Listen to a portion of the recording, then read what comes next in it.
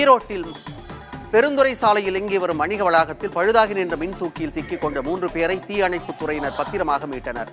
வணிக வளாகத்தில் உள்ள மின் தூக்கியில் முதல் தளத்திலிருந்து தரைத்தளத்திற்கு மூன்று இளைஞர்கள் சென்றுள்ளனர். அப்போது மின் தூக்கி பழுதாகி நின்றதால் அதில் மூன்று பேரும் சிக்கிக் கொண்டனர் இதனையடுத்து மூன்று பேரையும் மீட்ட தீயணைப்பு வீரர்கள் மின் தூக்கியை பழுது பார்த்த பிறகு இயக்க வேண்டும் என்று வணிக வளாக உரிமையாளருக்கு அறிவுறுத்தினர்.